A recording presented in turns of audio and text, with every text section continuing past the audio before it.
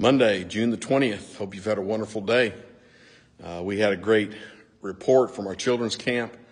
Uh, the kids were at camp all last week. Thank you, Nina Jackson, for your wonderful leadership and the great report that you brought on yesterday.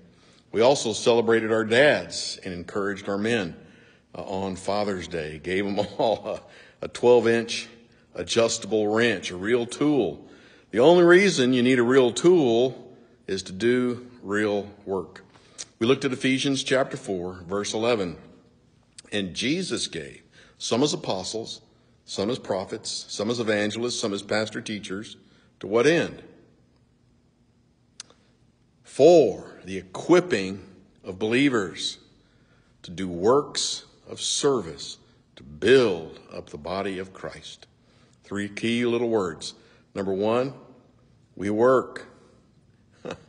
we work hard. We break a sweat. It is kingdom work. Not only do we work, but we serve. Uh, the difference between a worker and a servant, servant has a master. We serve our Lord and Savior, Jesus Christ. And lastly, we build. Uh, we build up the body of Christ. I love to go to the Home Depot and I'll watch at the pro desk all the different guys come through, contractors, individuals, and I'll try to guess uh, with the materials that they purchased what it is that you're trying to build. They're all trying to build something.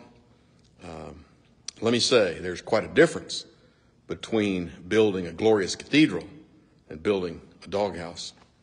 We need to be reminded that in all of the work that we do, we are to work, we are to serve, we have a master, and we are to be reminded that our work, what we're building, is the body of Christ, even the church. Let's be about the work of the kingdom Let's work, let's serve, let's build. Hope you've had a wonderful day. God bless you. Have a good evening.